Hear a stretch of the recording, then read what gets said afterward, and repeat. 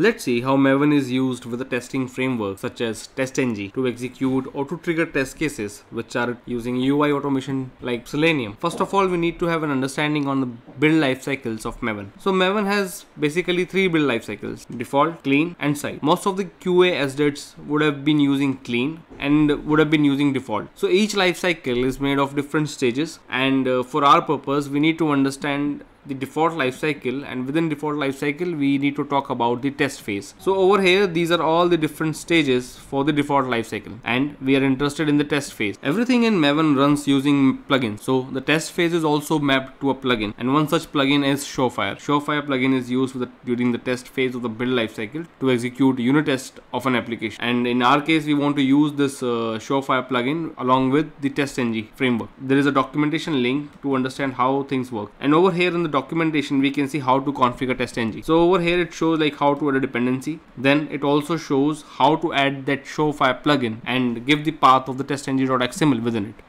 so we can see that we need to have a plugin tag and within it we need to configure the path of the testng.xml file and this is how we do it. Along with this we also need Selenium library. Now let's see the setup in action. So this is the pom.xml file of the project and this is where we are adding the dependencies. First of all we are adding the dependency for Selenium Java. Then we are adding the dependency for testng and then we are adding the plugin Surefire plugin and this is how we add that under the build tag and this is the path of the testng.xml file. This is where the testng.xml file resides. Now let's see the different life cycles and the stages within it. So over here we can see these different stages mentioned here. So this is the comprehensive list of uh, the different important stages of the default life cycle plus the clean life cycle and plus the site life cycle and the, all the other remaining ones are from the default lifecycle. Now uh, for our purpose we are interested in this test phase. So to run it we just need to select the test phase and just click on this. Look at the logs of the execution here which the Maven will generate. So these are all the different stages which comes before the